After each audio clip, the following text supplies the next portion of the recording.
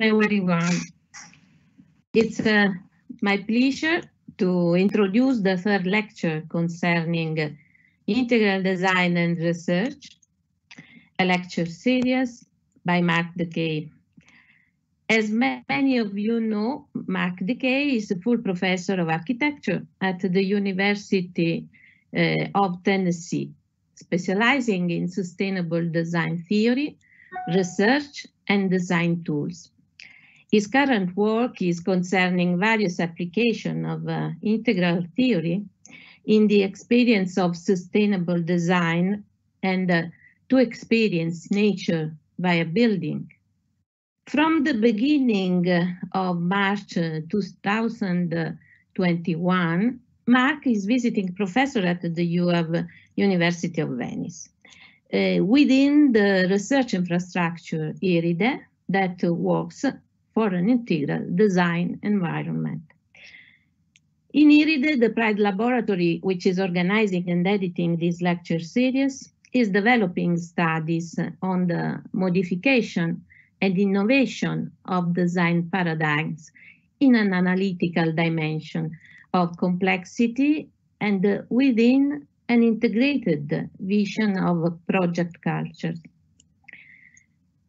The lectures are introducing a framework for uh, thinking about uh, design and design research at any scale. Uh, it is an approach built on the integral theory and developed for architecture in the book Integral Sustainable Design Transformative Perspective, written by Mark DeKay. The collaborative teams uh, represented in the Integral Design and Research Lecture Series use this approach because uh, uh, it is useful in tackling and making sense of the difficult and complex problem facing the design and planning disciplines today. In few minutes, we will attend a lecture by Mark DeKay and Susan Bennet. Susan Bennet was educated as an archaeological anthropologist at Columbia University in New York. She is an environmental activist uh, with 20 years of experience and a conservation commissioner in town government.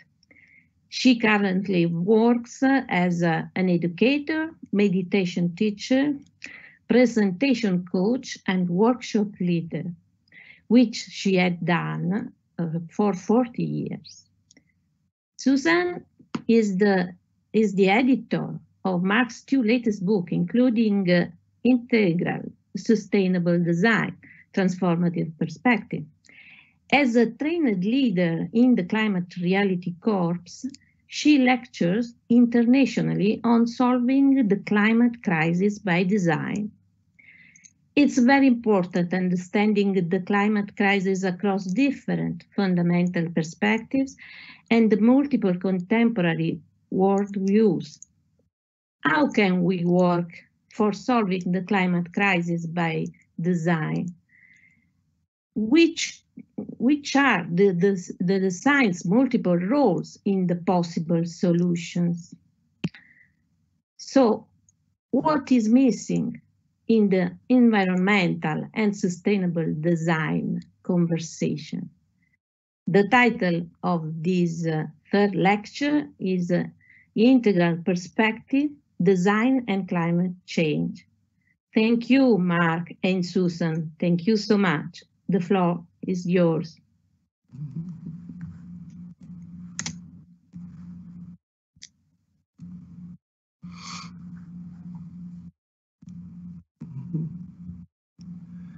Well, thank you. Thank you, Margarita, and thank you everyone for having us, for welcoming us here today to speak with you about this. Uh, we so enjoyed spending time with you and getting to know you in the seminar and we're hoping that you can get to know another aspect of us today as we present this.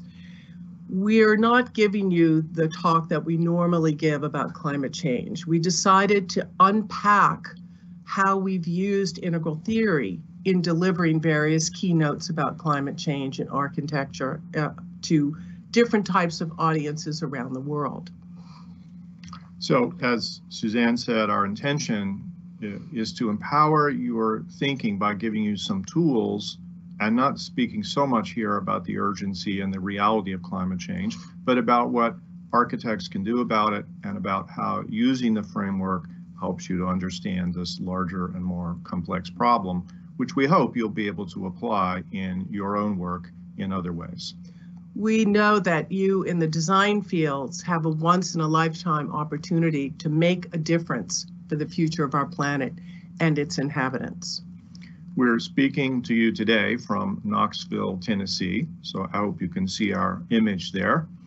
Uh, the, we're in the southern Appalachian region in a river valley of the Tennessee River, which you see in the slide, and we're just very close to this uh, city center bridge at the moment. So little about us. After years of us both studying separately, we lived in different states, uh, and listening to Ken Wilber unpack his own version of his of the integral theory. Mark and I met for a week-long workshop with him. Since we've both been deeply engaged with ecology and sustainability, Ken gave us both scholarships. So our meeting was truly one of the meeting meetings of the minds. On the left is Mark's sketchbook from that workshop in 2004, where we, as a team, generated an integrally informed way of communicating about the watershed plan that's shown there on the right. And Oops. yeah.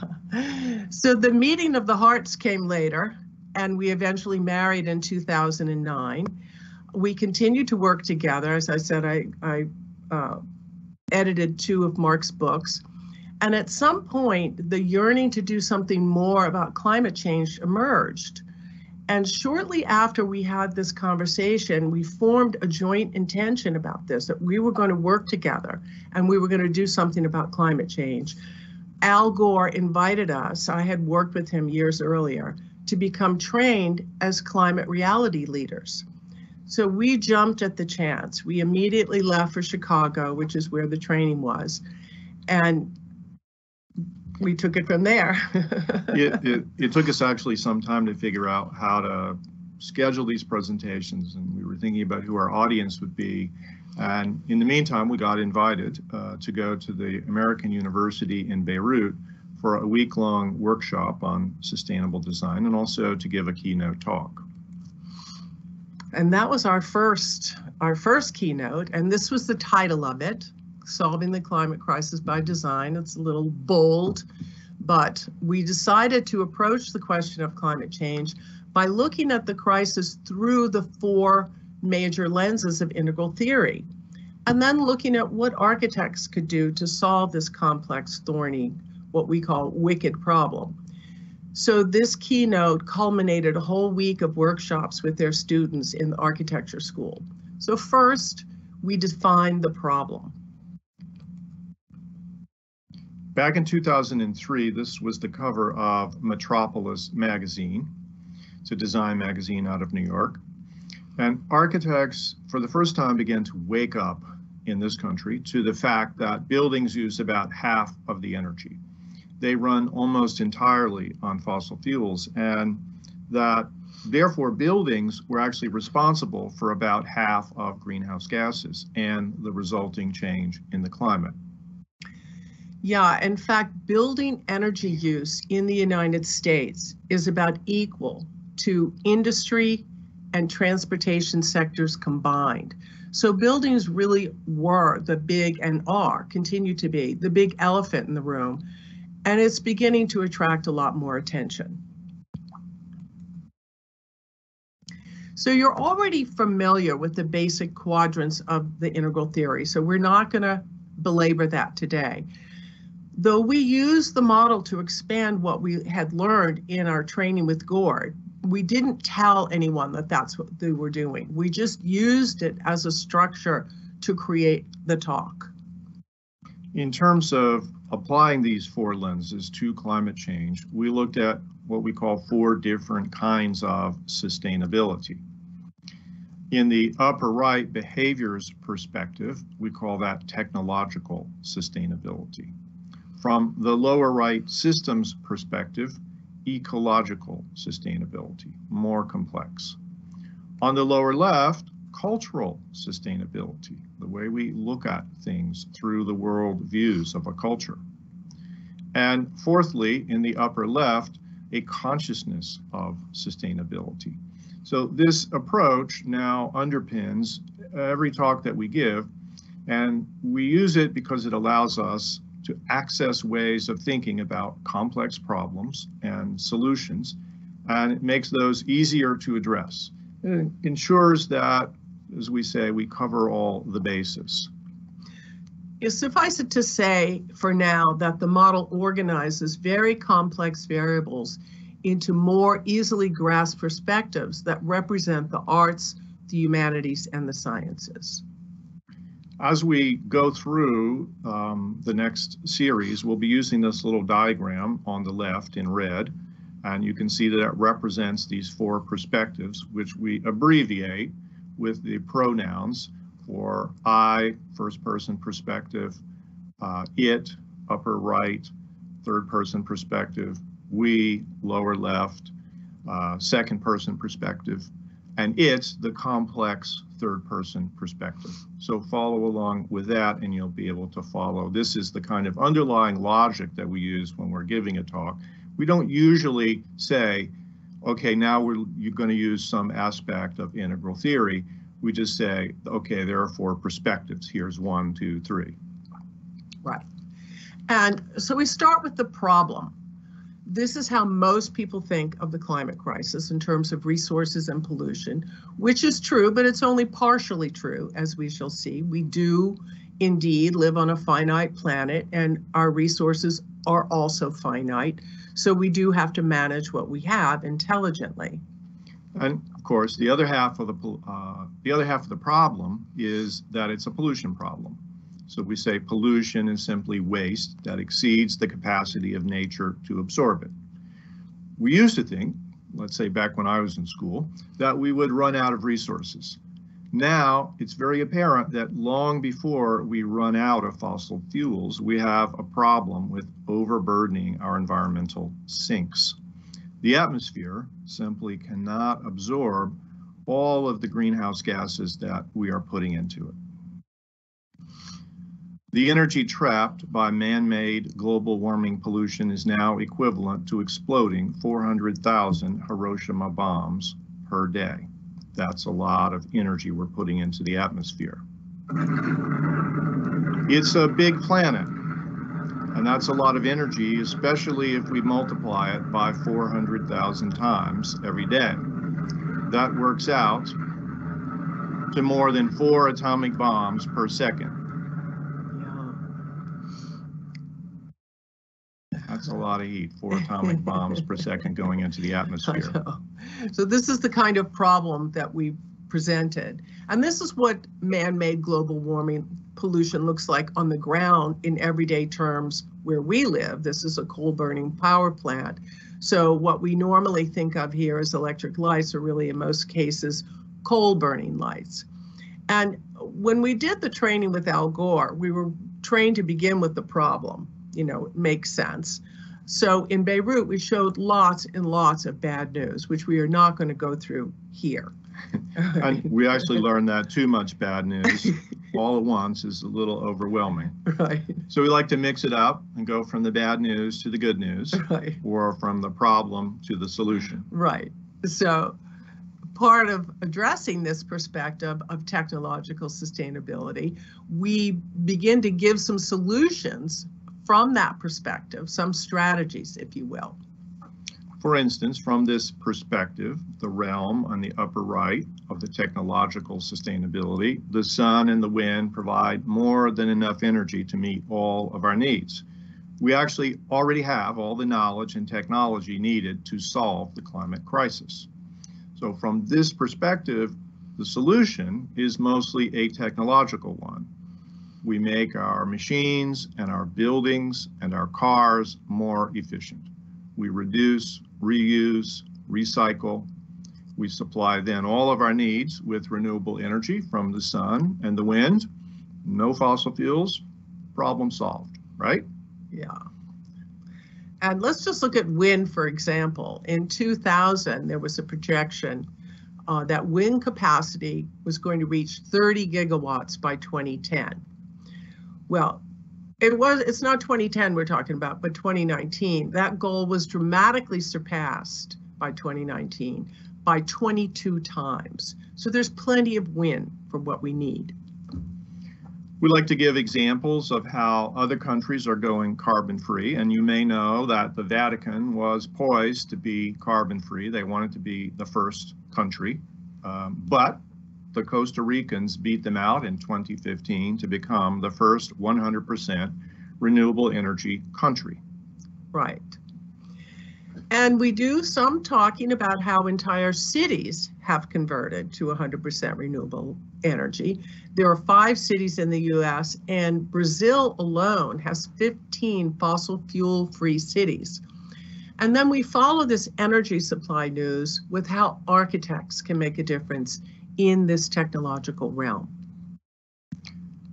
When we talk about climate change, we give examples of architects who focus on making efficient use of resources and reducing the greenhouse gas impacts of buildings. Uh, I like to do that with a range from traditional to modern to very contemporary projects. Uh, for example, we might go back to the a more traditional language and look at Hassan Fathi, an example of an architect who really applied some modern scientific thinking to a traditional language of form to provide what we think of as high thought, low tech solutions for Egypt's poor.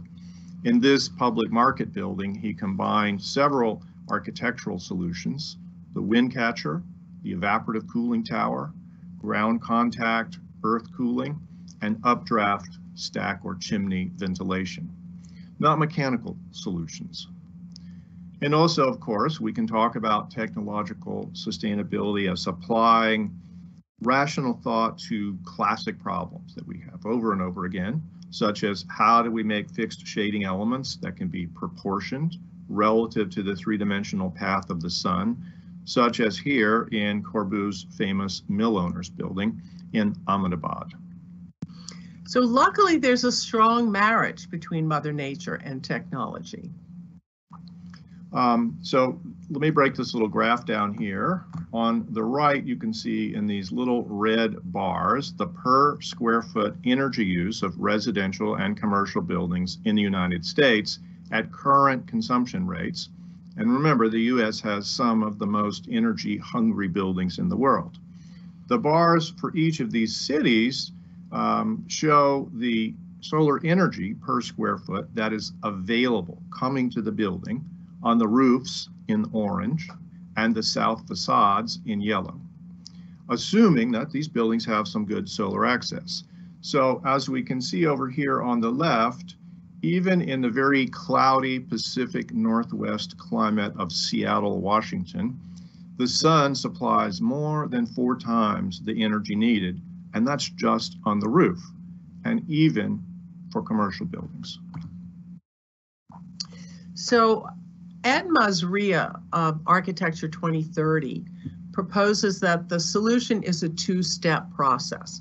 And by the way, he just won the AIA gold medal for his work. Step one is reducing the demand side energy loads of buildings and cities. And you, we do this by intelligent design and planning. That is embodying more knowledge in our designs. Step two then is to meet the remaining small loads with renewable energy technology. So design, as you can see, represents a great opportunity to solve the climate crisis. All right, so that was the technological perspective. Now let's look at the ecological perspective on sustainability.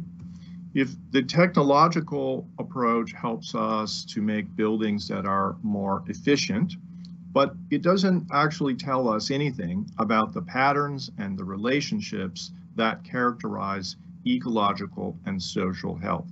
For that, we need a different lens, the lens of ecological sustainability. For example, land-based animal and plant species are now moving towards the pole at a rate of 15 feet per day. For habitat migration, the moving of territory, that's very fast. Let's take a look at what that pattern looks like. Right, so this is a simulation based on the current needs of 2,900 species of uh, mammals, amphibians, and birds which shows the paths of their migration as a result of climate change. They're moving to higher elevations and to higher latitudes at rates that are approximately two to three times faster than previously reported. Also, we can begin to see some of the complexities of what's going on in climate change as we begin to look at it from this perspective. For example, a warming atmosphere also creates more extreme weather.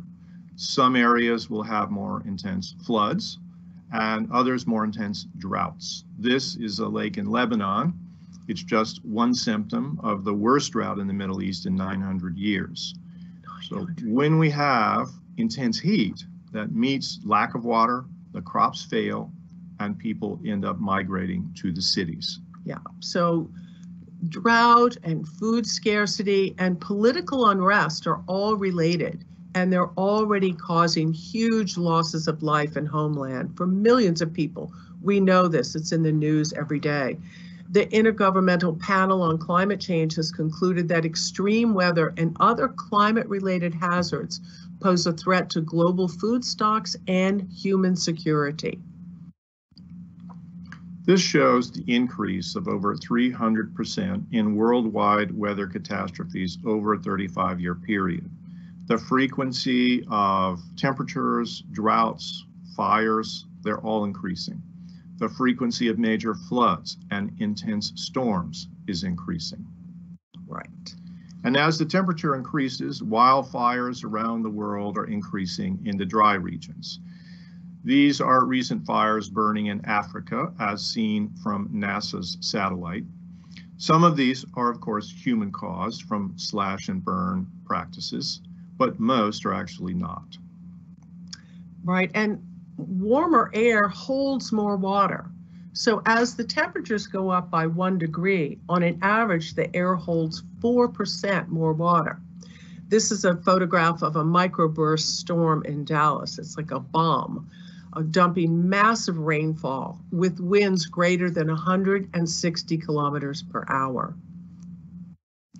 So if the ecological perspective helps us to understand some of the complexity and interconnections that are present with climate change.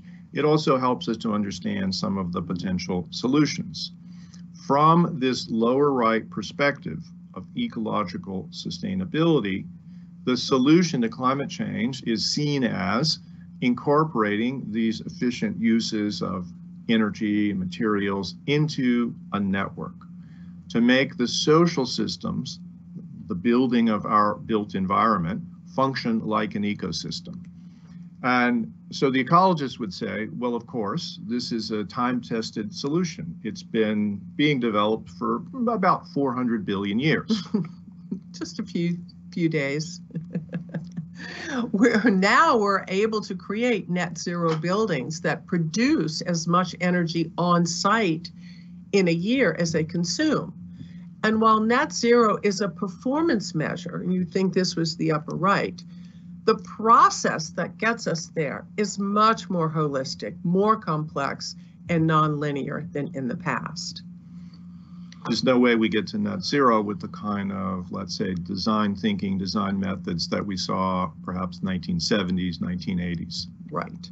So again, in this more systems-oriented approach to solving the climate crisis, the solution is more than a technological solution.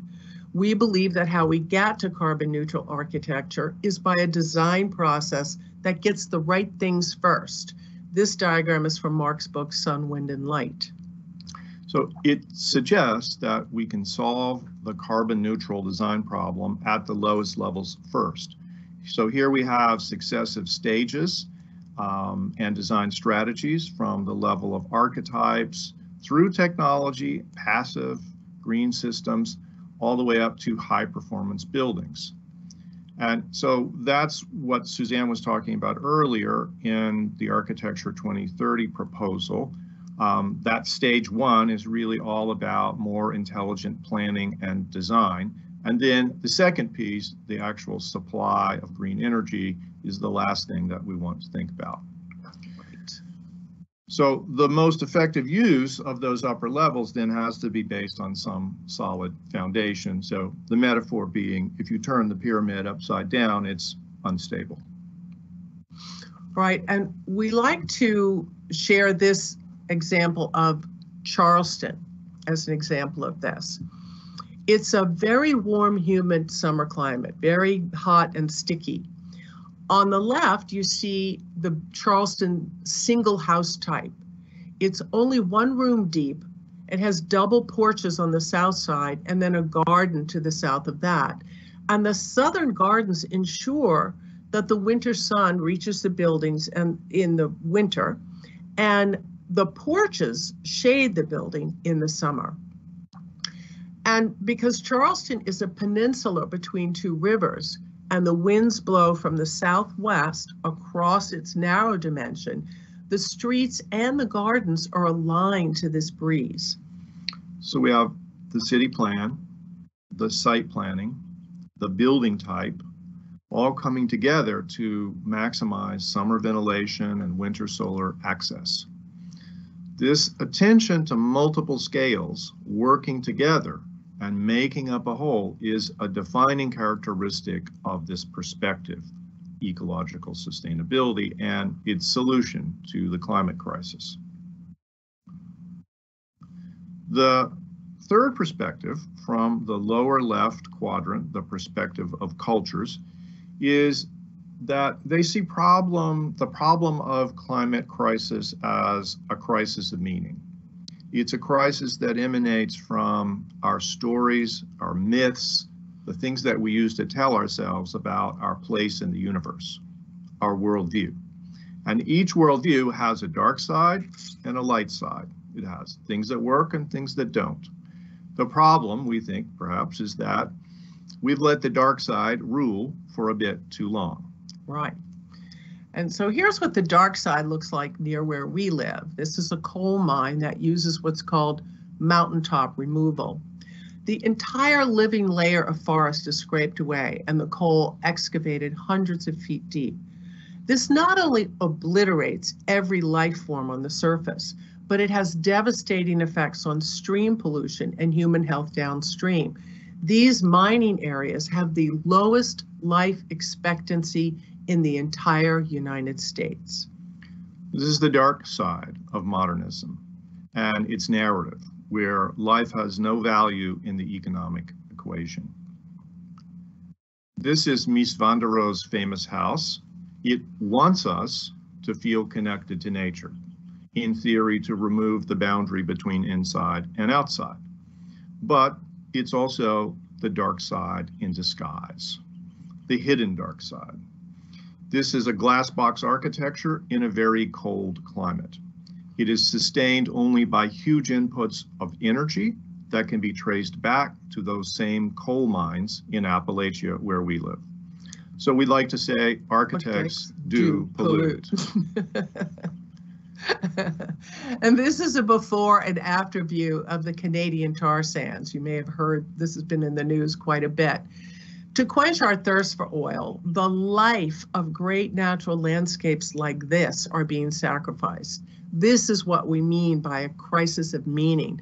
This is the kind of story that we have to rewrite. And this is why the largest gathering of First Nations in history recently happened to block the pipelines from the tar sands into the United States and across native lands and rivers. This is climate justice simply because the ones who are most adversely impacted by this environmental degradation are the poorer populations. As the writer Thomas Berry has said, we need a new story of the earth. And now for a look at some of the solutions in this domain of cultural sustainability. Basically, this is about creating new cultural stories, expressing the values of more developed worldviews. And luckily, it's beginning to happen all over. Yes, meet the Wanganui. You might call it a river, but in the eyes of the law, it has the standings of a person. New Zealand recently granted their third largest river legal personhood which will give it rights and interests under the law. And this is another example, one of my favorites from a professor that we know, Ed Ng from Chinese University of Hong Kong. In 2007, an earthquake leveled hundreds of villages in China, and he took his students on a three-day journey up the mountains by foot to reach this village. And when he got there, there was an old woman living under a big tarp. And she said, Oh, don't bother with me. I'm just going to die here. And Ed said, No, I'm going to build you a new home. And he promised her one before the Chinese New Year. So he returned his class to Hong Kong and they designed a brand new construction system working with rammed earth, bamboo reinforced, earthquake resistant, utilizing the rubble from the destroyed buildings and local on-site materials. And they tested it in their lab. He has a very amazing lab there. And then they returned and they built a prototype based on local courtyard housing and had passive solar heat and natural ventilation. There's no electricity here.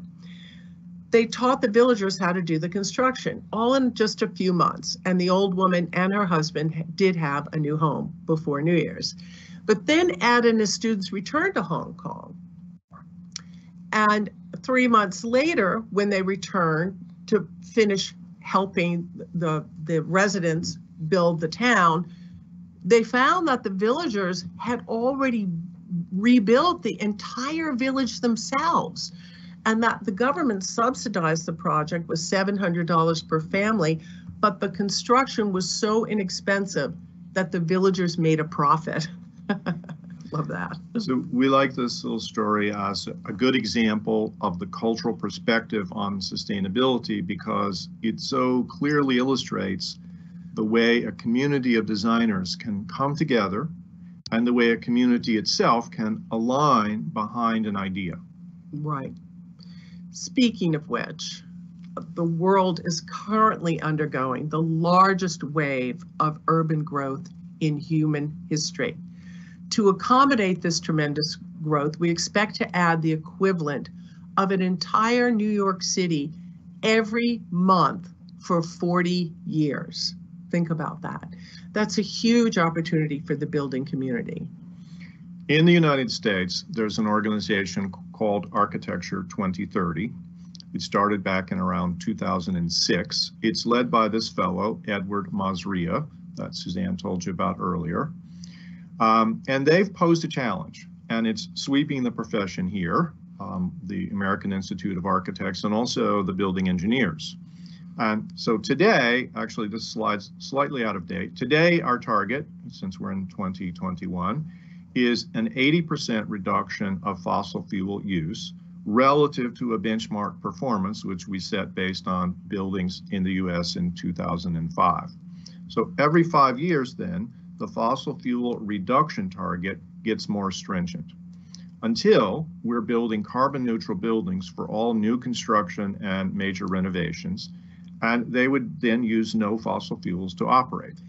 And, you know, although this is a set of technical targets, it's also an example of cultural agreement about what to do to solve the climate crisis. It's been endorsed by professional organizations representing over 1.3 million architects in 124 countries worldwide.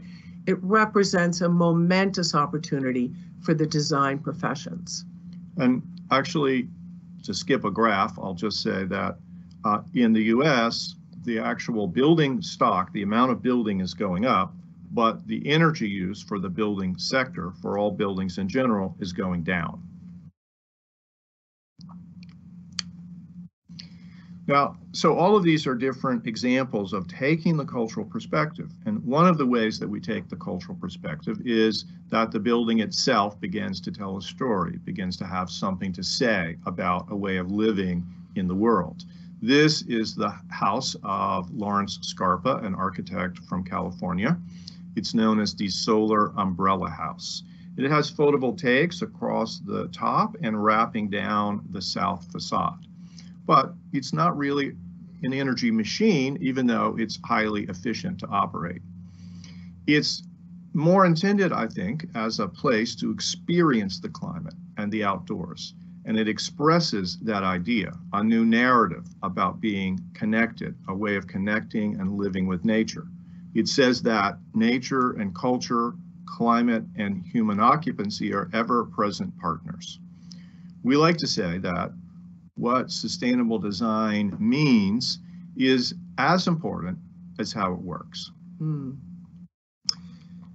So you know, in addition to our crises of resources and pollution, ecosystems and meaning, as if those were not enough, we also have a crisis of consciousness.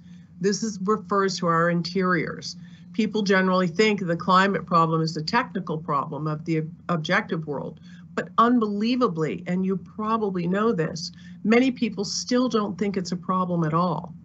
So this image is a protest in Australia. The citizens are suggesting that the government officials metaphorically have their heads in the sand with regard to climate change.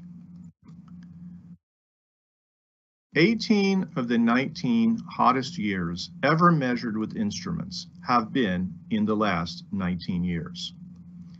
And the five hottest years of all have been the last five years. So why is it, we're thinking in the upper left perspective of experiences where we're looking at consciousness. Why is it that two human minds can be confronted with evidence like this, and one person can see a big problem that needs solving, and another just can't accept the reality? We wondered. Many people think that climate change is a hoax created for some economic or political advantage. And we found that when we look at the world, when anyone looks at the world through a certain lens, then we, send, uh, we tend to see the world that way. But what are these lenses that explain such cultural divisions? It's certainly not simply about the facts or the evidence. There's plenty of that.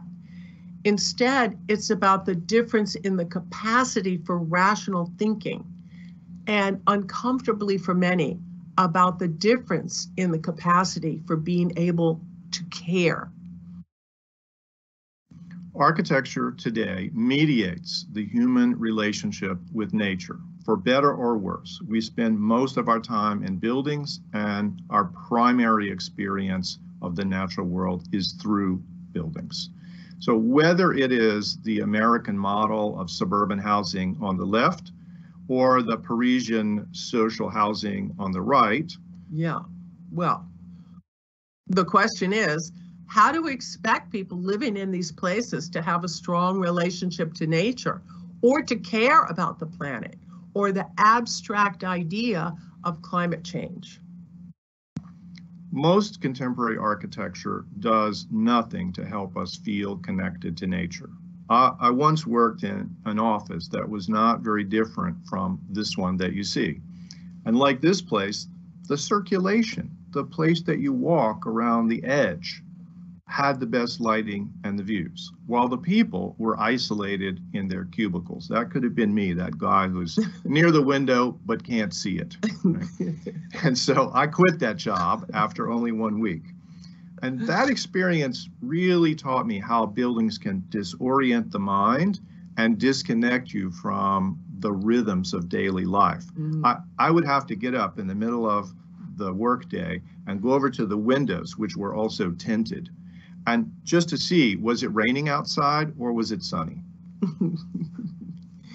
and then there's a whole body of research on this affliction that we've, we've written here nature deficit disorder. It's self explanatory. This brings on many attention deficit disorder symptoms and depression, especially in children, although not enough connection to nature adversely affects all of us. So it occurred to us then that there are two issues at work. One having to do with the vast differences among people in cognitive ability and in morality, and another having to do with the disconnect of people and nature that is expressed in architecture. From this perspective of sustainability consciousness, the solution proposed has to do with human development and with inspiration. Solving the climate crisis requires an emotional resonance of encountering multiple perspectives and views, both in ourselves and externally in others. It also requires one to be able to hold opposing viewpoints simultaneously. And in terms of consciousness, climate change is really complex. Therefore, we began to look at how the levels aspect of integral theory, we're going to now unpack that a little more deeply for you. We began to look at how that aspect, which we call levels, could explain how to speak to different kinds of people at different levels about climate change. One of the people we came across is Robert Kegan, a developmental psychologist from Harvard. And his basic premise was that people's minds develop, and they do so in predictable stage-like fashion, where earlier stages are always come before the later stages, and later stages build on the ones before. In his case, these stages are about what we call a line of cognitive development. And we have different lines, uh, all of us, perhaps a dozen different kinds of lines uh, that we develop along. So in this case, we're looking at the cognitive line. So you can think about it like uh, counting comes before calculus. So he has five stages. Uh, the first order, impulsive mind, single point of view, Second order, role concept. Concepts come into play, say you're born at first order, now a child somewhere, very concrete thinking. Um, along the way, perhaps in high school, socialized mind. Now we understand abstractions. Fourth order, this is where ecological thinking begins to come into play. Very complex abstractions, the self-authoring mind where the person becomes a fully articulated individual also. And then fifth order, very high level, super uh, complexity, uh, systems thinking comes into play there. And we can simplify this a bit because for me, this first order, second order, and all these names that uh, are used becomes a little hard to, uh, for me to remember. So I like to simplify it just a little bit. Uh, and, from relate five to four. From five to four, and relate it to the rational. So we all these are terms I think that are, are more accessible for us. So the pre-rational, not so good with abstractions. Rational, loves logic and abstractions. Late rational, think about that as pluralistic, complex, postmodern thought. And trans-rational, the true, complex, dynamic processes, and evolutionary systems thinking. Now, why is this important? It's important because to design an ecological system is fifth order, trans-rational. It's one of the highest levels of cognition that we have. People theorize we can go much further than this, but it's pretty high. And the basic concepts of understanding climate change is fourth order, late rational. Okay, so hold that in our minds because it's not quite that simple. We're going to add something to this because this is just the cognitive line that we're talking about. Right. So in addition to the cognitive line, we wanted to also look at the moral and ethical development as well because as you know, being smart isn't enough by itself. You can have a smart evil person. so we ran across these two figures, both incredibly famous and influential in their fields. And their research both discovered a three-stage model for two lines, one ethical, the other moral, so very similar.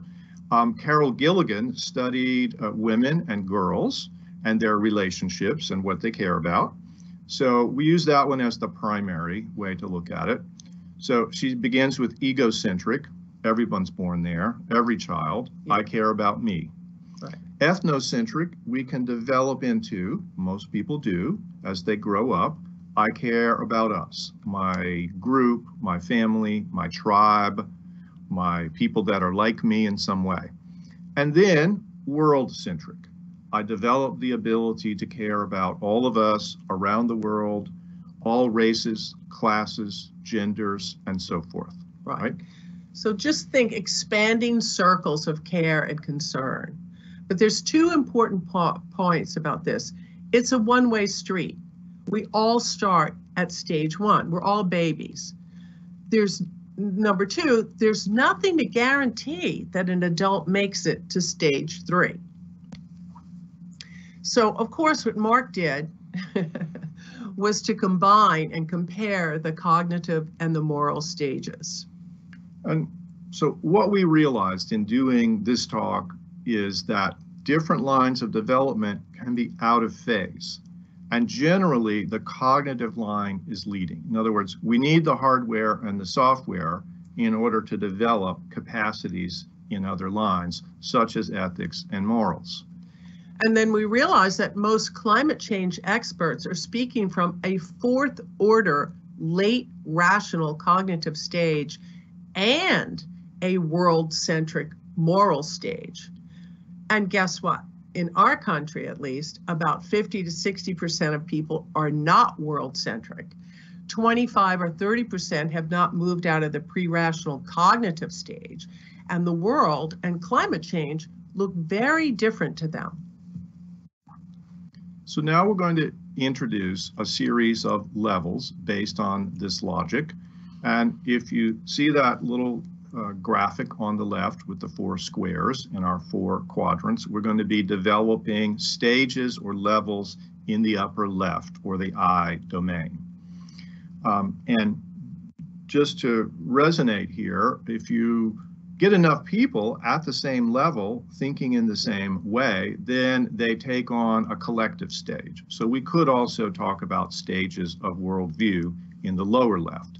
But for now, we're going to focus on the cognitive in the I. Right. And those four little red squares, those are all in the upper left. So what does it mean to expand our awareness? It means that your horizons expand with each new level. Your capacity to take in the world and to be compassionate expands. And your ability to cognitively address complexity expands.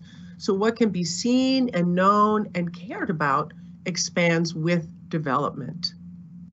And you might be wondering if this is relevant to design. I think it is. In the Integral Sustainable Design book, we proposed six major lines of developing the consciousness of an architect.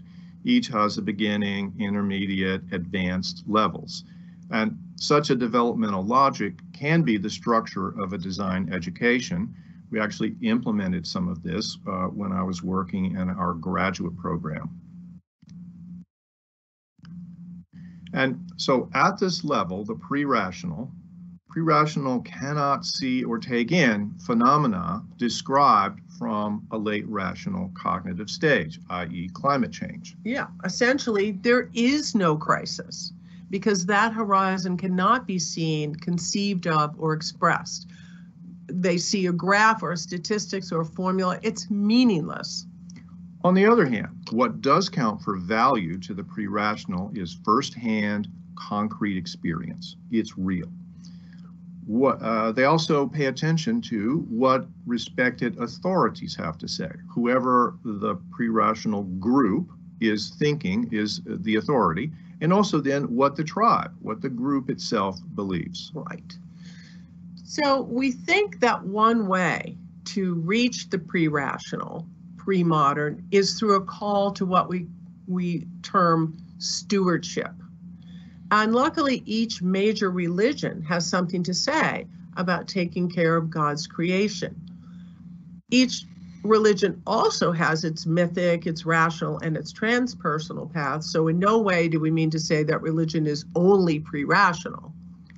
But there is a large segment of society who believe that God gives people the opportunity, uh, the responsibility to manage creation.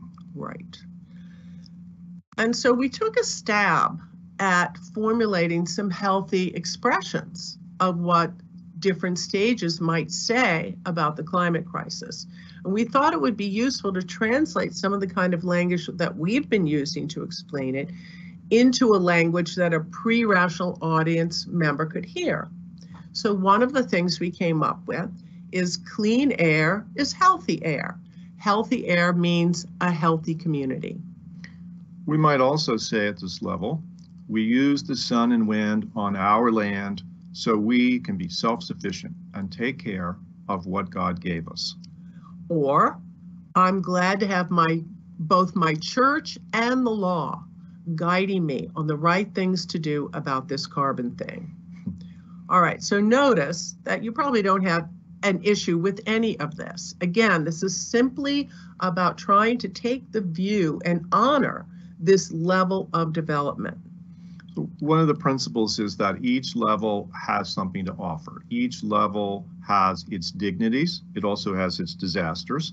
But if we look for what's workable, every stage, every level has something to offer. Right.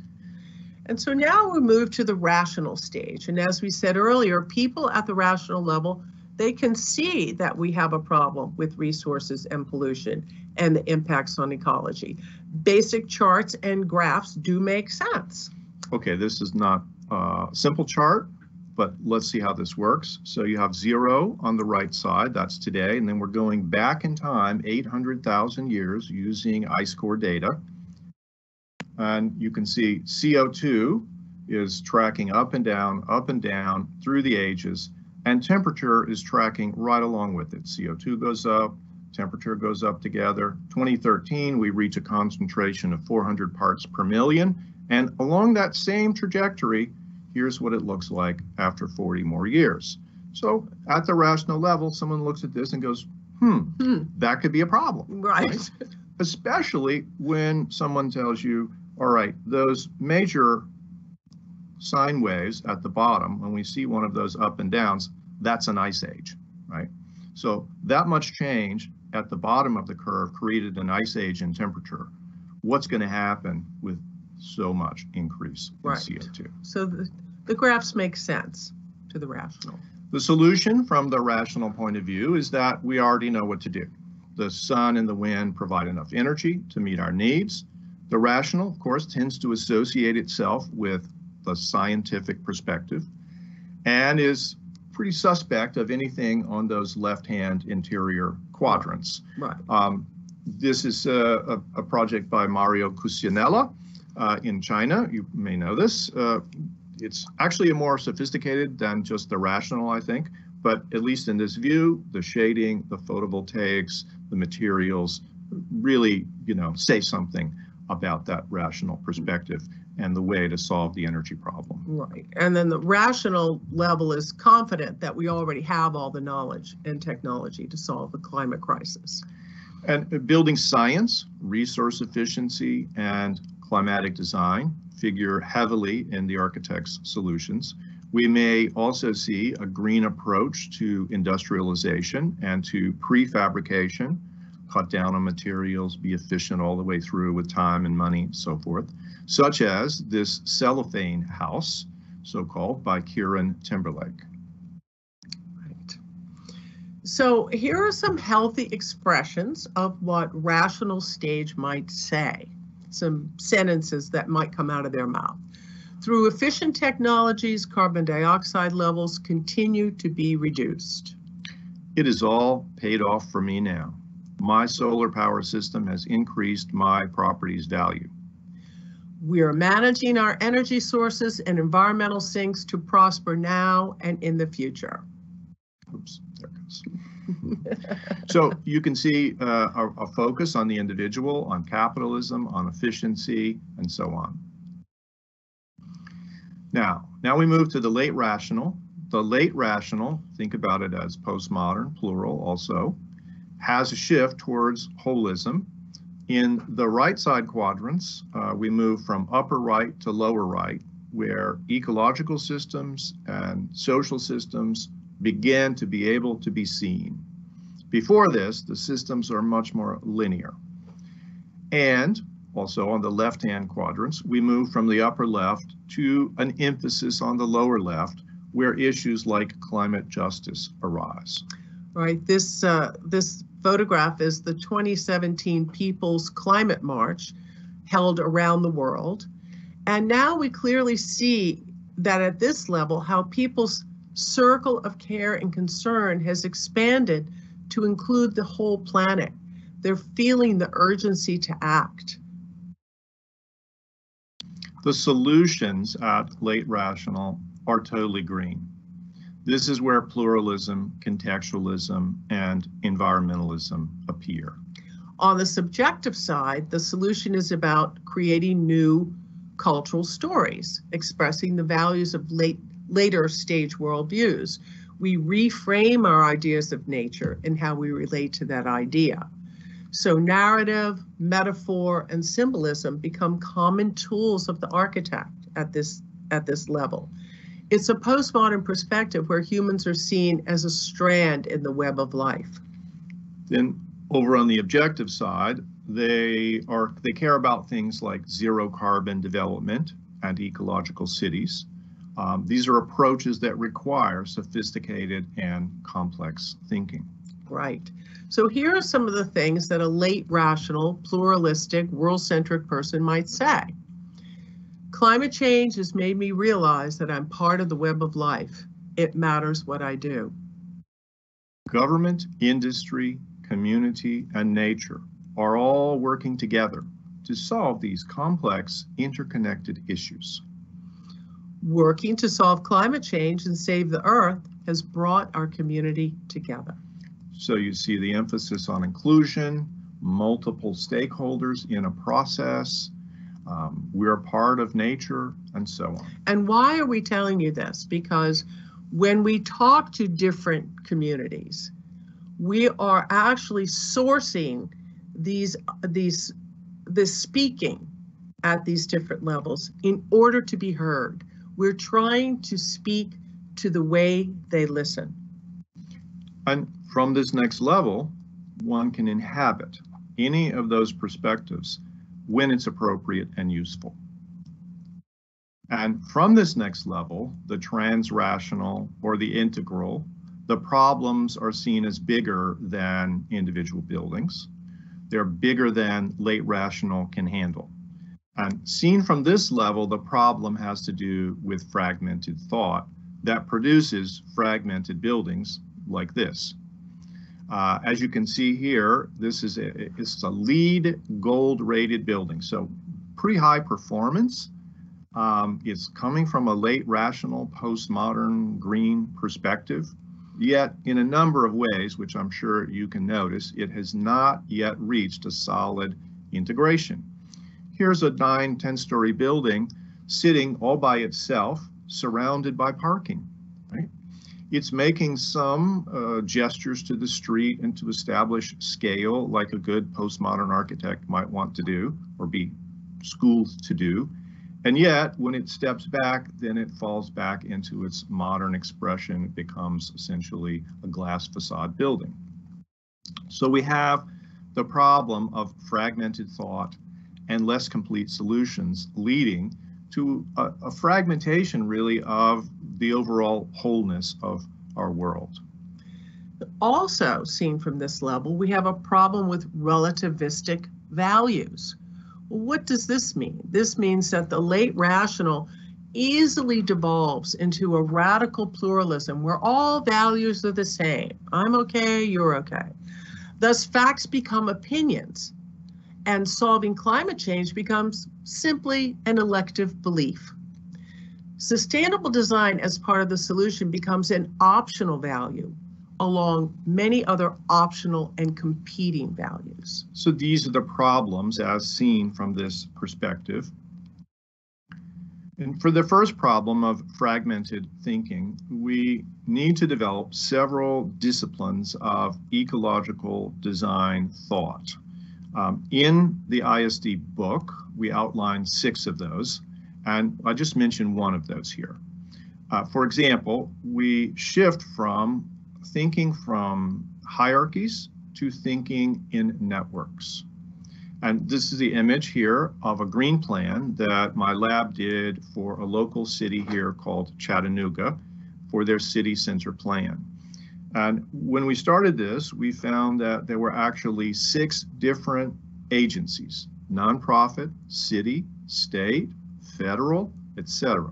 All of them were managing different parts of the green space in the city, parks, trails, etc., public squares, wetlands, all those things. The river. Nobody had ever put them on the same map, so we did. We mapped them all, and then we began to look for where were the gaps and where were the linkages. How could we knit this into a network that also worked with the urban fabric? So with this network thinking, we began to see patterns at a range of scales, from very local to regional from a tiny square or pedestrian way to the river's floodplain and large parks. So this is just one type of ecological thinking. Now let's look at the solution to the problem of relativistic thinking, relativistic value. The transrational can see that life is developmental. It sees the valuable dignities at each level.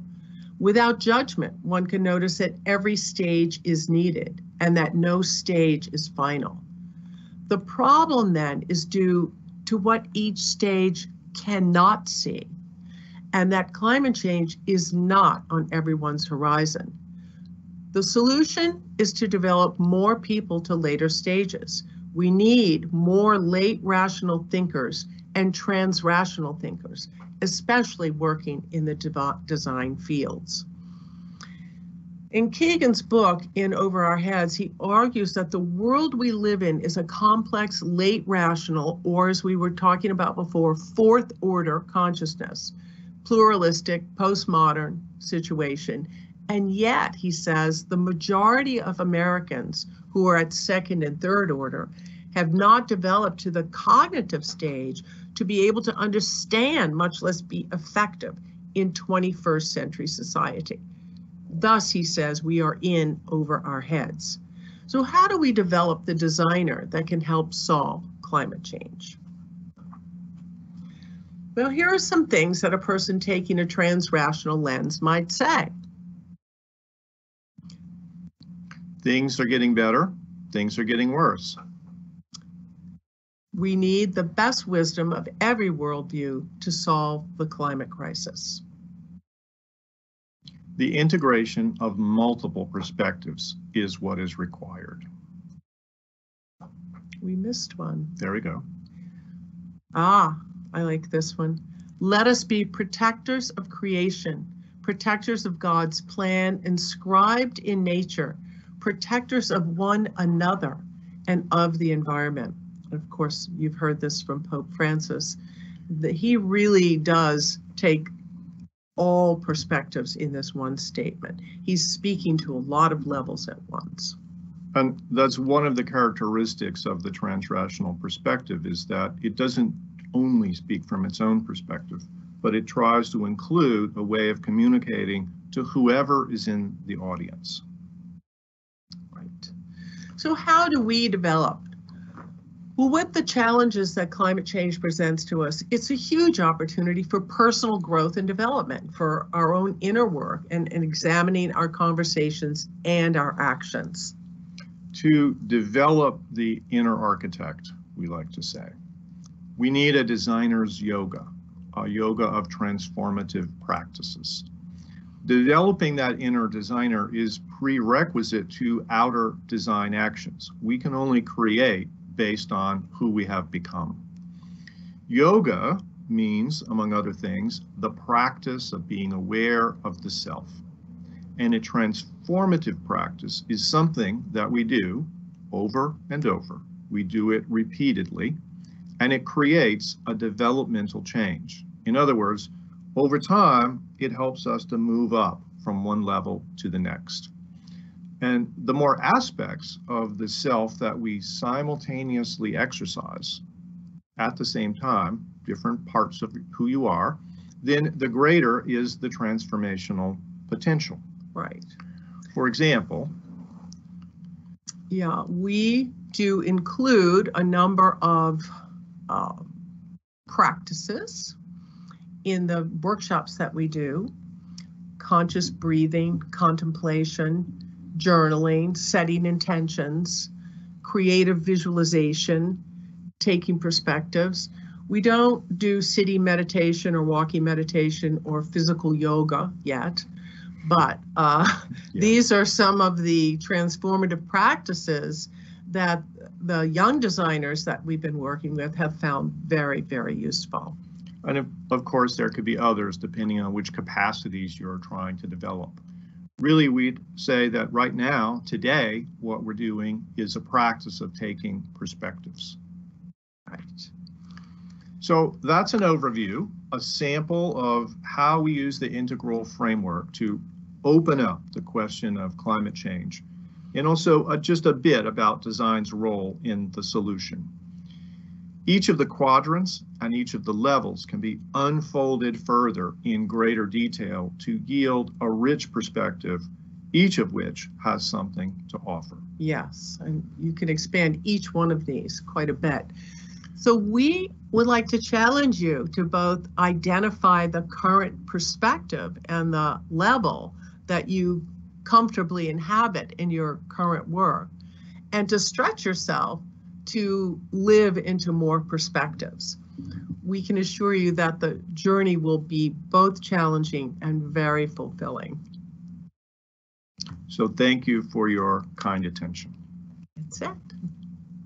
Thank you. Thank you, Mark and Susan. Uh, it is uh, always very interesting to listen your uh, research and your um, interpretation also of the of the world. I think that many uh, questions uh, may be useful for the dialogue with with the present. I would uh, like to ask if uh, there is some question. Please, any question? If you want, uh, please raise your hand and uh, we can discuss. Um, in the meantime, I would like to uh, talk about uh, a question. Um, when you look at the built environment and uh, to the built legacy and, uh, and heritage, the problem uh, with the um, care and the uh, transformation is uh, very huge in a uh, in a condition uh, to respect the the um, necessity of the of the planet. And uh, in a vision of um, that is not um, self-referential so I would like to uh, understand with you um, how do you consider the possibility to apply this uh, this vision, these multiple uh, um, perspectives to the built environment, uh, that is the, the built legacy and heritage, uh, where um, a kind of aesthetic also uh, meaning that is not only the um, the, the the meaning for itself, but uh, also the aesthetic meaning meaning and the style that is part of the of the legacy. Um, what do you mean?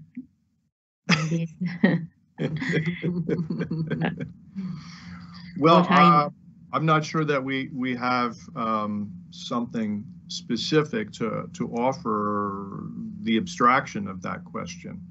Um, the I think the integral approach just asks us to consider that in changing something which exists in that built legacy, we consider its its meaning to the community, we consider its aesthetic, but we also then have to uh, make some distinctions. So one of the things that the pluralism, let's say the late rational, um, tends to want to do is to collapse distinctions, to make everything relatively flat, to give uh, every person complete equal value, no matter their contribution, right? Which is true at one level, but also ignores depth. In the same way, um, I don't know how it is for you, but here in our country, um, a preservationist begins to be interested in everything old, no matter its value. And so we lose the ability to make distinctions about the things that might be uh, preserved in their entirety, uh, the things that might be adapted and modernized, upgraded, um, re-inhabited, and then the things which really have not retained their value. No one perhaps in the past might have valued them very much, and they can then be replaced. So we have to use all of our faculties to make those kinds of aesthetic and cultural distinctions. They're not fundamentally technological problems, but we do find ourselves, even inhabiting an old building, we want our electric power, we want our internet, we want many things, perhaps even upgraded uh, heating and cooling systems right? We want to adapt to the present to make them useful for our current situation.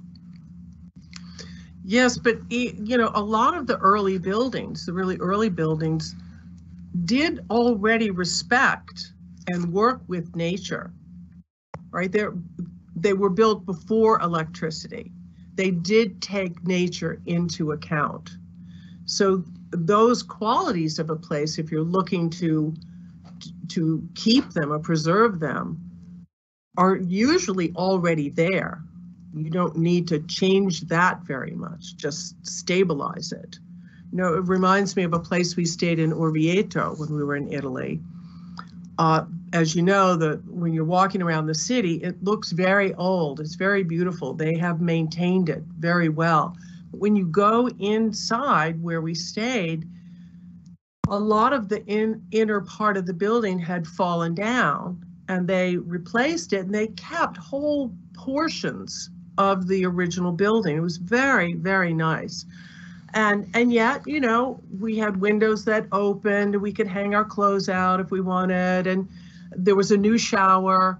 So there were things inside that uh, made the place really beautiful, but honored the past, honored the original building actually.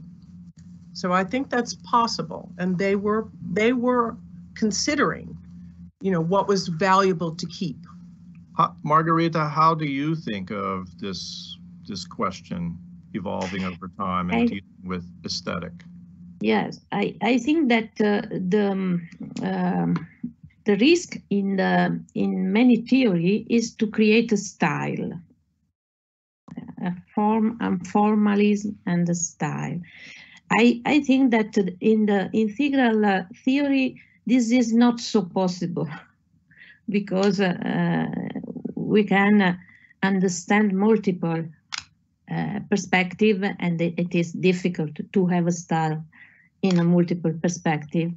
But when I look at the uh, the fragmentation and the composition of different aspects, um, I think that uh, this may be also something to understand better in a, in a design theory and in the, in the, in the design research.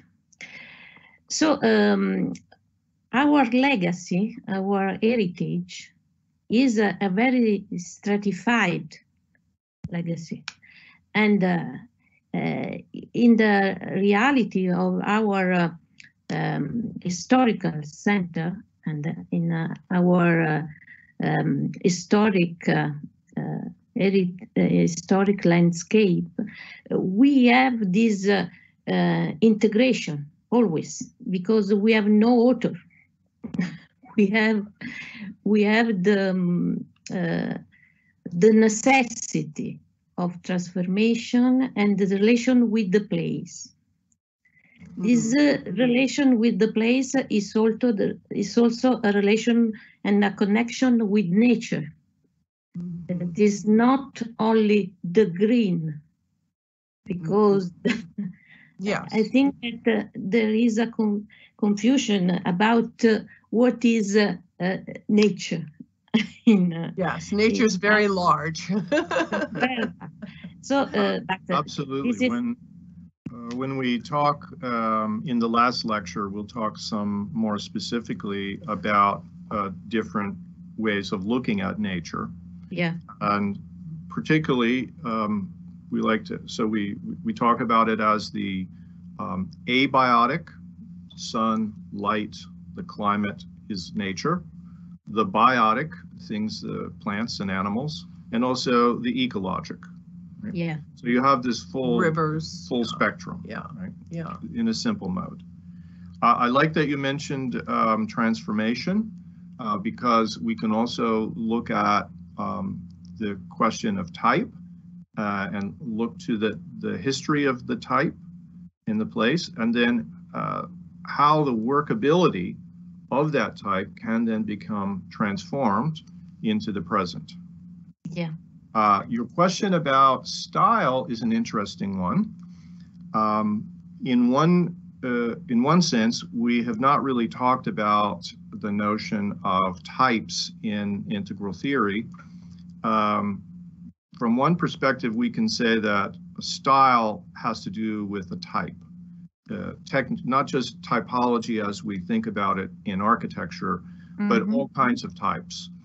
And the types run through different, um, uh, potentially through all different levels. So we can have, for instance, masculine and feminine types, right? Through all levels of uh, uh rationality, right? That, that doesn't have to change, it can be present. So uh, architectural style then uh, you know, is constantly something that we're looking at through each level.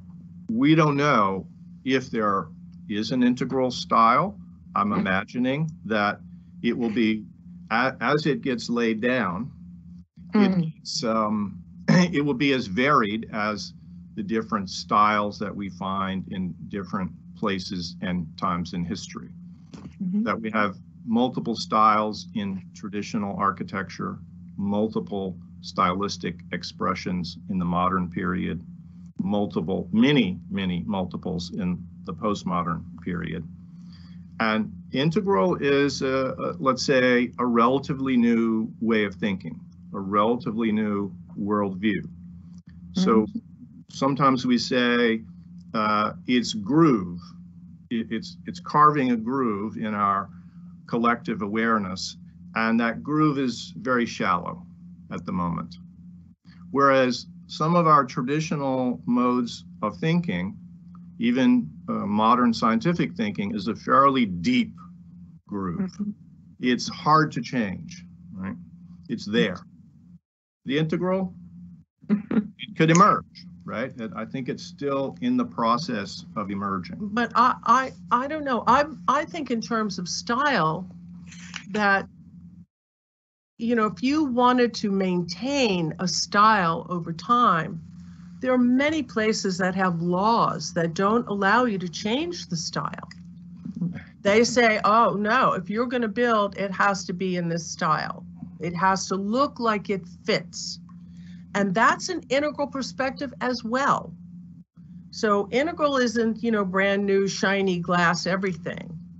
You know, it's it's taking the perspective that this is what this culture values. And we value it enough that we actually have laws to protect it. You can't just come in and build whatever you want. So let's break that down, Okay. right? So what perspective is that? Well, that you have a cultural perspective, Lower left, lower left, right? um, married to your lower right.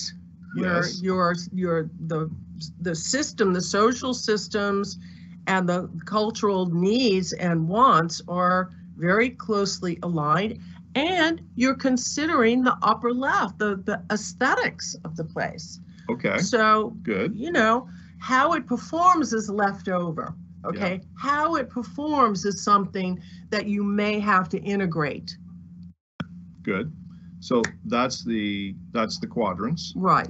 And I would, So that's integral. I I would say though, Yeah. that when you're you- taking the legal perspective, Yes. which is expressing the cultural value hmm of, let's say, preservation of a style, Right.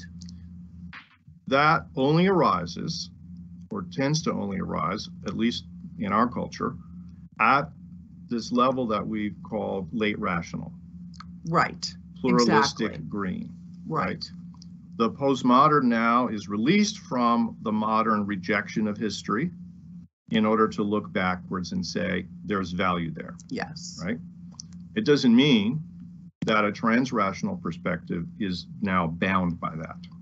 Right. Yeah. So I think Margarita's describing a, a more sophisticated uh, idea of fitting one thing to Oh, the next. yes. Okay. Yeah. Yeah. No, no, I, I am. talk uh, forever about this one. I am, I am thinking that uh, every every um, every time we have to change something, we have to uh, lose something and uh, Mhm. Mhm. acquire something something else. So um, uh, I think that uh, the, it's a particular um, problem and uh, issue to understand what uh, we are able to lose Mhm. and uh, and what uh, uh, we are um, we are um, aiming at.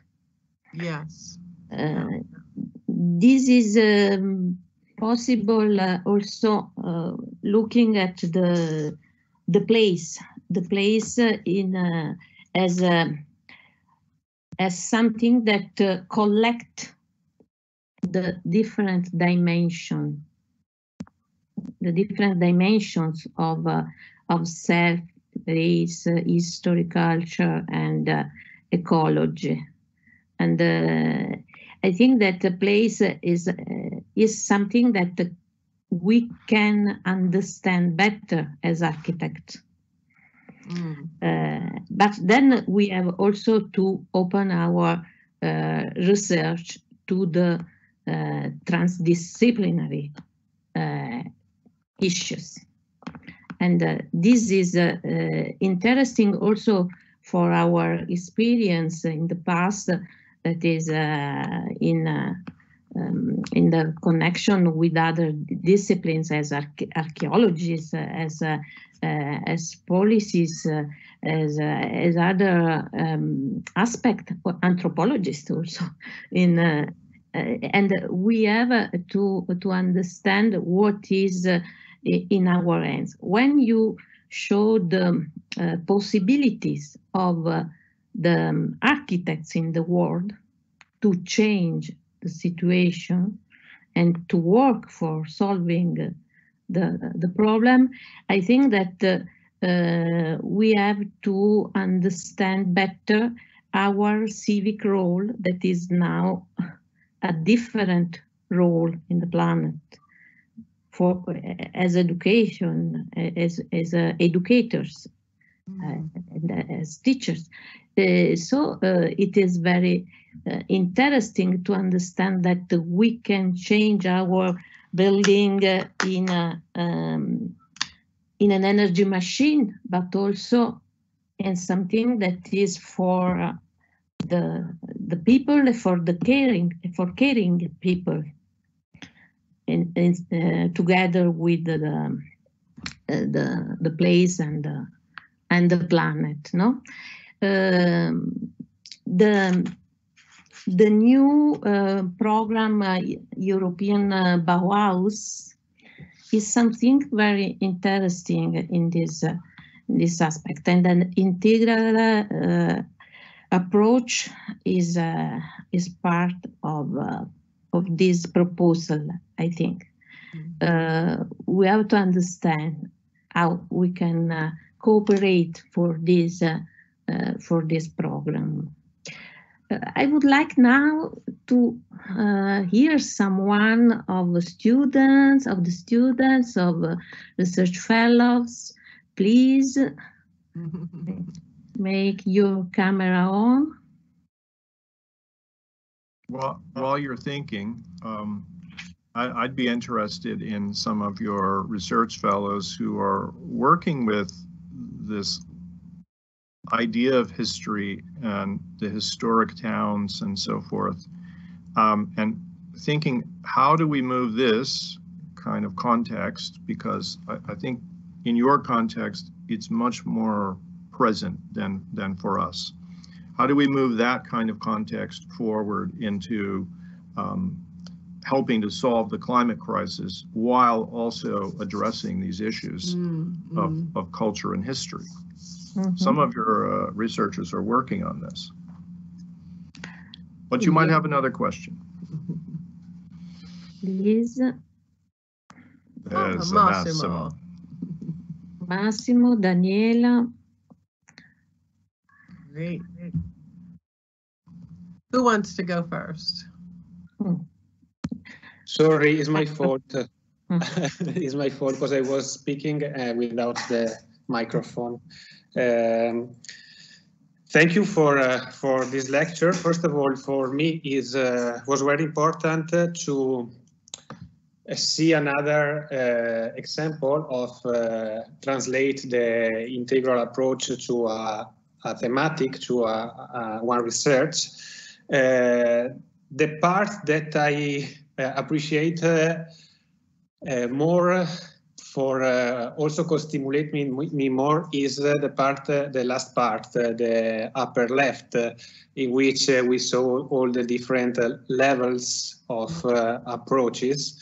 Uh, this is uh, important for us uh, also because uh, help us to understand how to we, can uh, expose our research, our works to different uh, public somehow in order to reach and to make it more communicable. So this is interesting. I, I lost some part uh, also because for my screen, uh, like uh, director of the conference, I can see just in the small vision. So, so but uh, but was uh, was interesting this part.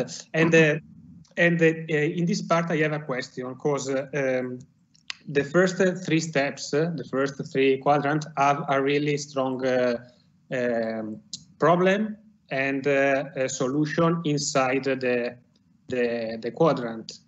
Uh, a technological one, eco ecosystemical one, and uh, the cultural one. Uh, the last one was for me like the problem of the problem or the problem of the four problems somehow, if I understand Exactly. Correctly. Yes. So the, the difference level open after open at the different levels of the different uh, quadrants somehow. So uh, this is like a, a little chain uh, or wheel. I don't know. There's something that uh, return uh, and uh, open that. So uh, this was quite uh, uh, difficult, for, uh, but uh, interesting. And uh, another um, thing that I was uh, thinking about is if the um, the approach, the integral approach, point to a um, concrete problem. Maybe when we are doing a research or something, we look at this problem with an integral approach. But uh, there are other problems uh, in general about the research, the work, a project, and uh, maybe we uh, can, uh, we have not the time, we can't operate on it with an integral approach. So is it uh, this is a paradox, or uh, or maybe is uh, if I work with an integral approach in a specific question, I am in the late. Uh, I don't remember the name, uh, Mark. Sorry, the late. Uh, uh, Late- rational, Late rational. rational. So I can also uh, see all the other questions that I I'm not making. You can't possibly answer all the questions. Yeah, yeah. You just can't do it. However, you can be informed about it and you will have to be because when you start to work on your on your project, all those other aspects will naturally be there. And unless you can make the distinction about where they live in the integral map, you're going to get led into this other realm. Do you see what I'm saying? So in order to, you can take one thing and focus on it. But a lot of what happens in academia is people start fighting with each other about, oh, no, it's this, it's that, no, it's that. And they're talking in different realms. They're talking in different quadrants. One thing has nothing to do with the other, or very little to do with the other.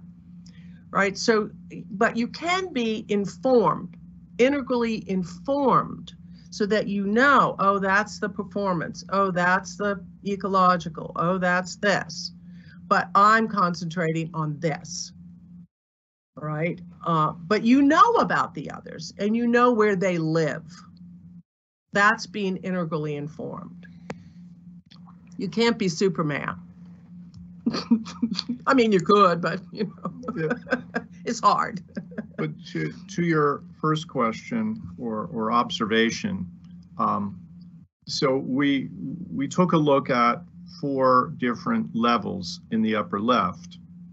We could also look at four levels in any other quadrant about climate change. So we could have four different levels of understanding the upper right technology, for example. At the traditional pre-rational level, um, the technological solutions are embedded in the building culture.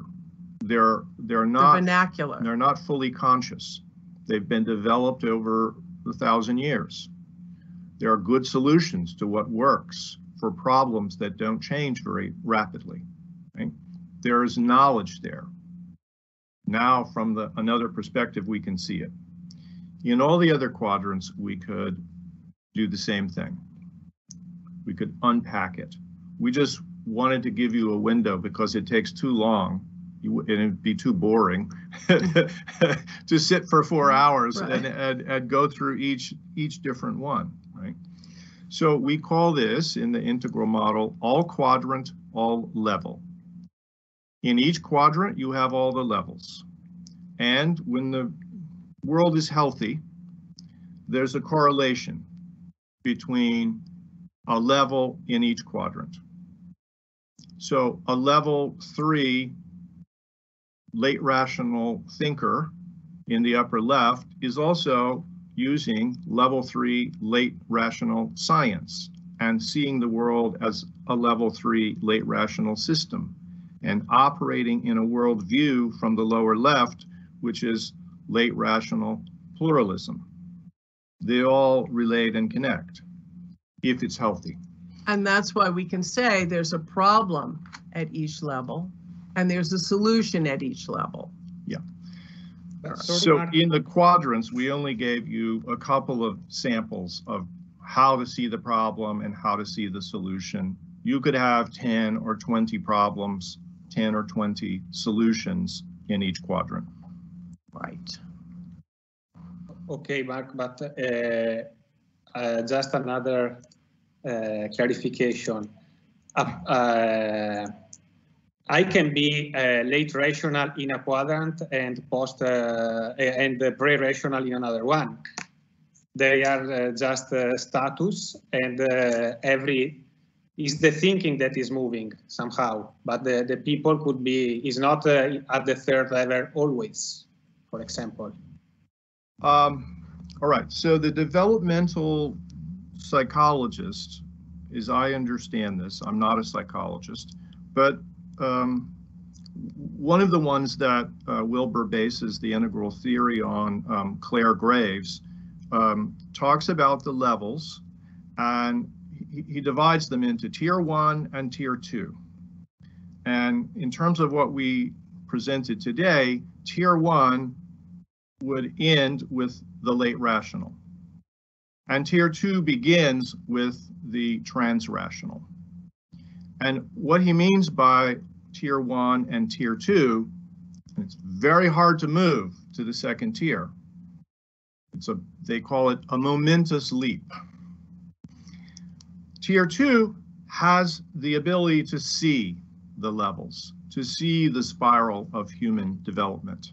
Before that, if we're walking around in our rational universe, we imagine that's the end. Think about how self-centered the Enlightenment thinkers were, right? From our perspective, we look back and they thought, we have reached the height of human development. We have discovered rationality, reason, right? Now we have post-rational thinking that says, ah, well, that was a little bit limited, wasn't it? You still had some big problems like slavery, which Just it took few. you took you quite a while to get out of, right? Yeah. Eventually, though, we developed, and you know, in a hundred years, that institution disappeared. Right? So, you if you're if you're in a tier one, our first three levels that we talked about, typically, if things are out of balance, it's an unconscious imbalance. In other words, we're operating with a methodology about how we think about the city, for instance, or how we think about scientific phenomenon. We're operating without knowing what level we're operating at. And that brings us into clashes unless we take the awareness that, ah, that's a level two over there, and it's very useful for this reason, but very limited in other ways. So that's what we're after. And it really becomes useful when you can articulate the methodologies of each quadrant. When, as Margarita was saying, there's this question of the different disciplines. Because the disciplines get very good at one quadrant, usually. And in that quadrant, they tend to have a level, one level. And for instance, I know a colleague who is very good with statistical analysis and surveys. And all she does is statistical analysis and surveys, as if that was the only tool in the whole world. Now, she's an expert at that. But try to enter a conversation that says, what can the survey not tell us? Where, where is it lacking? And it's a difficult conversation. But in a team, that person is really valuable. Someone, however, has to recognize that it's valuable but limited, as are the other methods that people might use. Does that answer it for you, Osimo? Somewhat? Yes, yes. thank you, thank you, Mark. Uh, Danielle, Danielle, I put you for the question. Yeah, Danielle is in here. Thanks for the Yes. question. Thank you. Thank you very much, Mark and Susan. was really interesting. I have um, a collective question uh, that is coming uh, from me and for, from Marco. Um, can you please uh, clarify um, in the ecological pa- pa- pyramid, pyramid that you show us what is uh, uh, the archetypes? We didn't, we didn't get it. Do you understand me? Um, so, no, I didn't hear that fully. Ask one more. Um, the, um, the ecological pyramid, pyramid you show us, there are at the, the first step, the archetype. I don't know if I tell The- the in uh, first step is- correct in uh, I'm sorry, I- archetype, archa, archetype, I don't know how to say in English. It was archetype. Oh, archetypes. And the pyramid. Yes, thank you. Yeah, Yes. Yes, thank you. Sorry, sorry for my bad English. Yeah. Yeah, yeah, Sorry. no sorry. problem. Yeah. Uh, Yeah, so um, the archetypes, that would be at a fundamental level. Like the Right. vernacular. Um, The, the. Ah, the- that, so we didn't get what you mean with yeah. the, Yes. Yeah. Yes. so For the example- vernacular, okay. Uh, uh, or- Okay. or the things which are tested over time and and tend to be more universal. For example, uh, if we say there's a roof like this, and there's a roof like this, and there's a roof like this. So we have three options, the butterfly, the flat roof, or the gable roof. And then we ask a thousand people, which roof feels more sheltering? This one, or this, or this? A thousand people find this to create greater sense of shelter. They may find the horizontal roof more connected to the landscape. And they may find this to be very a feeling of openness, right? Those are archetypal. In fact, um, there's a nice book called Archetypes in Architecture by the Norwegian, uh, Thomas Thiis-Evensen. Um, and he has hundreds of these things. Um, so it could also be um, the open frame structure in a warm and humid climate or a closed shell structure in a hot and arid climate. Right. Right. Thick walls. Those are archetypal solutions, things that have been found to work for many, many times, many years. Then we can build on top of that, right? But why, from the integral perspective, we want what works well, and we want to keep that.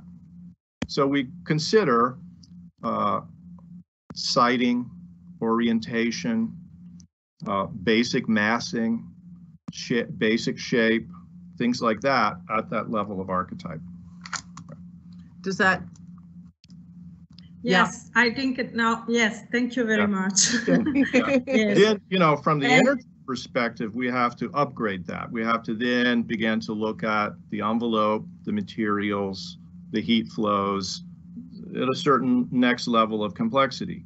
We have to have a relatively efficient shell before using the natural site energies works very well. So then the third level up, we call passive or green. Now we can use the sun for heating, the sky to light buildings, the breeze and other forces to help cool them, right? But that begins to be a level three technology. That comes in the upper right when we arrive at um, late rational. Because now we can actually have a concept of how the rhythms are flowing and we understand the physics that's happening in a more complex way than at the level of archetypes. Okay, thank you very much. Yes. And then uh, another question that it's uh, not uh, just related to architecture, but it's more general. Uh, you talk about the capacity to be able to care about the planet. And um, I was asking myself, um, do you think uh, there is, a, I, I, okay, there is a, a relation between the, the extraction of each person and the capacity to be able to care about the planet. And I think there is a, a connection also if this person get an extraction in a, I don't want to say rich, uh, but uh, there is a difference uh, between people that uh, have a good extraction and, and poor people that uh, uh, didn't get an extraction. So um, maybe, do you think uh, that it's uh, important to uh, talk about the, the planet in the school? I mean, in basic school, public school, high school. So do you think there is a strong connection or do you think it's not important? Because uh, I also have been in my life meeting rich people uh, who didn't care about the planet. So how to deal uh, with this? Sorry, all, always for my bad English.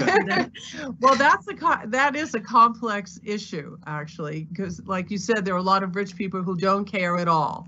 So it's not about whether you're wealthy or even about this is why we, we also looked at the moral and ethical development because it's not just about having a brain or having a high cognition, but that idea of the open heart, of the you know caring for the world or caring for others is on the moral and ethical line of development. And that, you know, that can be um, inoculated, if you will, by a certain kind of instruction, by a certain kind of speaking about or inspiring about um, why one should care. But ultimately, it's a development of the inner person. It's a development past ego, past me, me, me, me, me, me, me, right? And that happens on a lot of levels. You know, that happens with your parents, that happens in schools, it happens with your friends, it happens in your politics, it happens in your town. It's, you know, it's, you're, we're constantly being enlarged. Uh, our awareness is being enlarged. Some of us, right? But some some people don't care. You know, we just had a president who did not care. Yeah, it was painful, very painful. Yeah. So you can think of that as arrested development. Right. You know, the development begin just stops at a certain Right. place. Yeah. And also there's a there's a a level of economic um, situation where people are in survival. They they could care less about the planet or other people. They're just ha- looking for the next meal. You know, that's that's really present with all these people who are now leaving their homes and trying to find some place to live. You can't expect them to have this hmm. expanded care and concern about the planet. It's not reasonable. So that's also an example of another aspect of integral thought, which is states.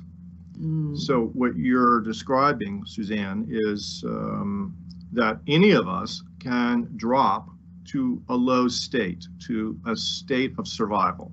So if you know the famous psychologist Abraham Maslow, he has uh, what he calls the hierarchy of needs.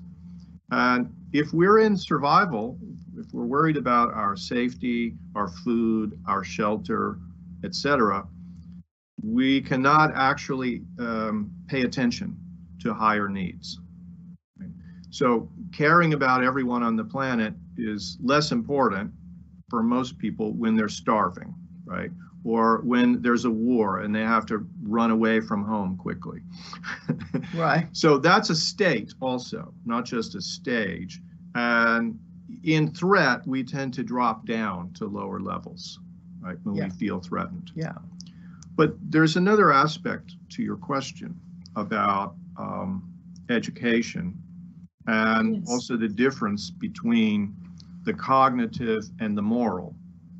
So in the pre-modern traditional world, um, before the Enlightenment, we had um, we had art and science and morals uh, undifferentiated, right?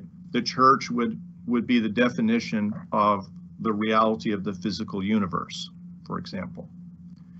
Um, in modernism, in the Enlightenment, we began to differentiate those things, right? We said, ah, in the realm of science, we might have, that they might have something to say about science, but not so much to say about morality. So art, science, morals, what Wilber calls the big three, those began to be differentiated. Now we find ourselves in a late rational, pluralistic, postmodern society in most Western cultures. That's the dominant, that's what dominates education, particularly in the university, but also in the high school. Now we have art, science, and morality completely dissociated. So if you were to go to a public school in our country, you would find nothing about morality. That's left to religion. You would find about science and almost nothing about art. Right. Almost nothing. Art is art would be 1% of the education. Right? So they're completely isolated and separated from each other. So what happens is then we've now created a situation, our green pluralistic culture that wants to include all the perspectives has actually separated them so much that one can become very high on the cognitive scale and still be anchored down by a very low uh, aesthetic perception or a very low moral ethical perception. All right. So we need, I guess the answer, right, I mean, my right, would be to pull those back together so that what integral is now beginning to try to do is to reintegrate those quadrants, if you will, or to reintegrate what modernism differentiated, postmodernism completely tore apart, right? To pull them back and say, can they not be related again? Yeah. And it applies also Okay. to your interest in the Mhm. social, the same development from egocentric to ethnocentric to world-centric also applies to social issues, not just to environmental. They're the same. Stefano. Thank you, Daniela. Hi, hi. Thank you.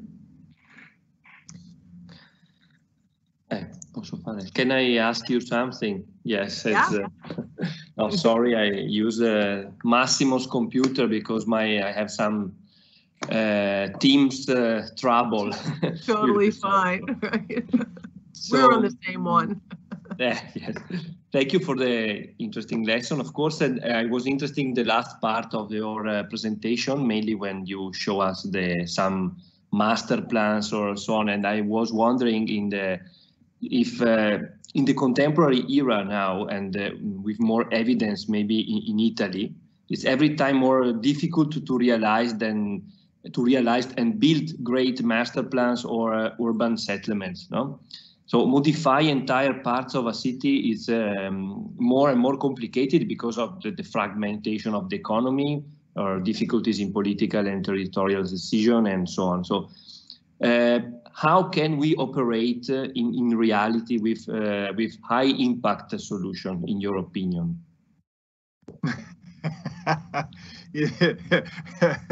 I, I, I, Yeah, I- Mark. Yeah. yeah. No, you, Susan. Please, Right. the book, Write, because write this down, Yes. Well, we'll Well, I have have- a I have- aperitivo about this, right? I have No. three ways. Three ways, no. Susanne says, uh, don't ask the professor unless you want the three-part answer. Three-part answer, right? No. Uh, I, I, I agree with you that uh, the master plan as, um, as the modernist instrument is, is dead, right? I think, for us in- at least.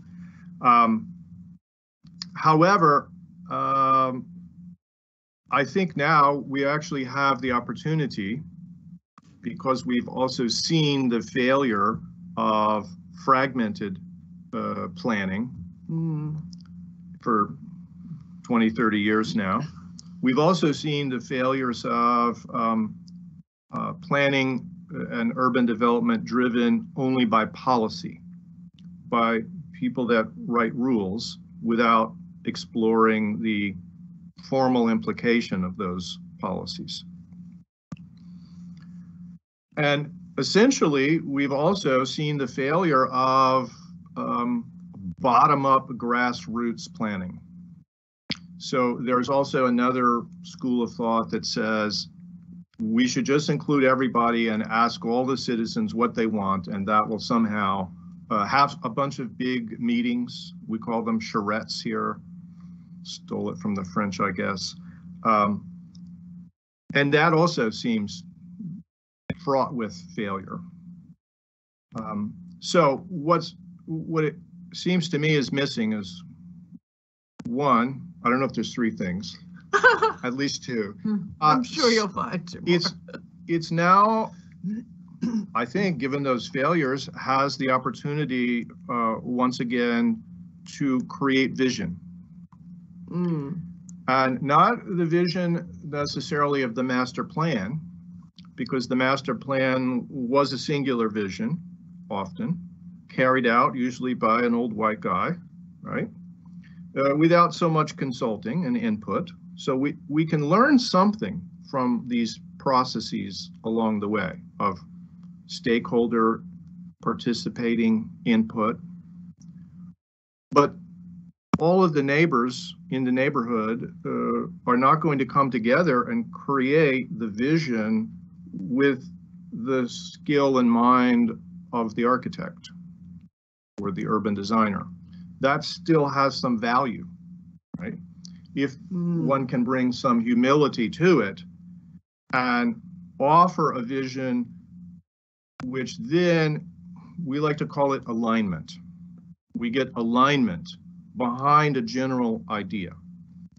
So if we know then the larger whole of which the parts have to contribute, then it doesn't have to be carried out because one of the problems with the master plan, right, was how do you implement that?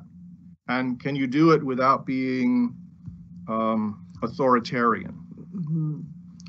So in the 1960s here, we had master plans, like in my city, and we tore out huge sections of the urban fabric to put in highways. We have one place we call it the spaghetti bowl because it's like each ramp and flyover and highway is a piece of spaghetti. It's horrible. It's just a big snarl like that. Yeah. And Um, it displaced all these neighborhoods. So the vision, but also um, perhaps a more piecemeal implementation. So that's where things like um, like rule structures that underlie um, and and are and where we know what the pattern that it creates is. We know the rule and we know the pattern. And and then I think I don't know, this is speculating, right? Um, but then I think it becomes possible when each player, whether it's an owner building a house to complete the pattern of a street, or it's uh, the city who's um, making a new sidewalk or a new street or a new place to plant a tree, they know the pattern. And the pattern has to add up to something, right? And so then we begin to think in terms of scales. So the plan I showed you was just, if, if anything, a vision. You still have, in that city, we have the, um, we have the federal government with the national cemetery. We have uh, the state government with parks. We have the city government with parks. We have a quasi-governmental agency that manages the river system and the lands along the river. We have nonprofit, private organizations, Land trusts. land trusts, all of these players. No plan, right? No, no collective vision. So it takes all of those players, and yet they have to know when I make this move, does it add up to something? Does it contribute to building a larger whole? Right. That's all I got today. And I would just say that, to add to that, I think Mark did work a lot with a lot of different types of people on that plan. I think the power in it is practicing speaking your vision so that it inspires others. So Inspiration is key.